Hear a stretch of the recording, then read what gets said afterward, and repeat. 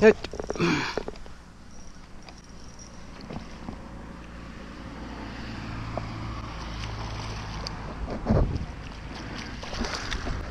Tuossa on sääli.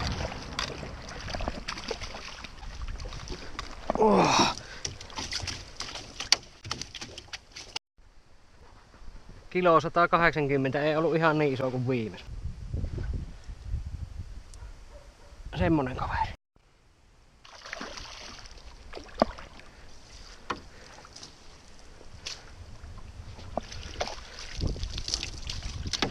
Kahdokke. Oho. Hyvä kun otin haavilla, kun just irtos.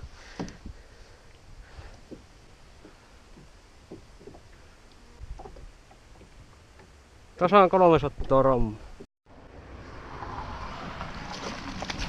Voi hyvä isä sen. Oh. Vittu, kyllä on julma ahve. Hoho. Wow. Mikado. Siellä on Mikado jiki tuossa suussa pojalla. Aivan mahtavaa. On se 545 rammoa ollut tuo ahve.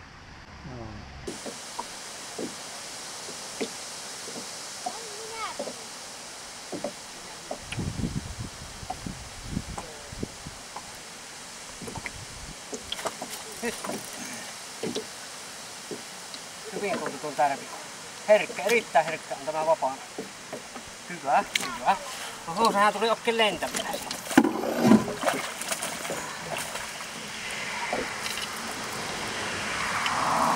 Vielä on seuraava.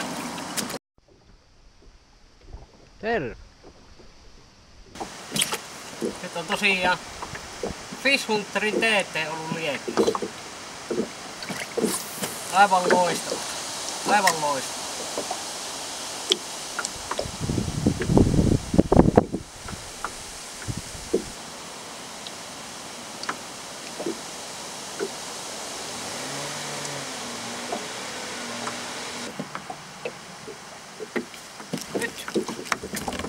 Ahven. Heti tunkko tästä värinestä. Onko, onko perkele sää? Ei kun kuvaa.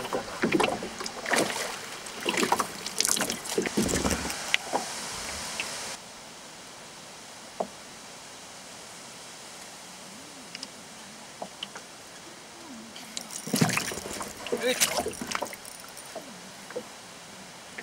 Tämä intti kuvaa vähän on samanlainen, samanlaisia juttuja kuin viime kerralla.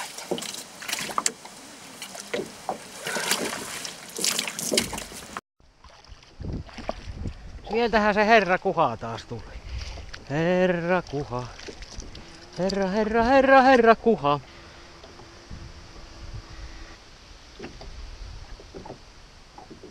Kuha taattaa. Oh, oh.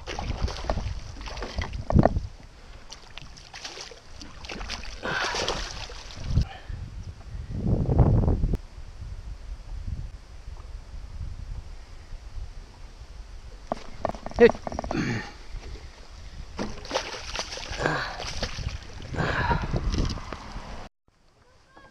On, on.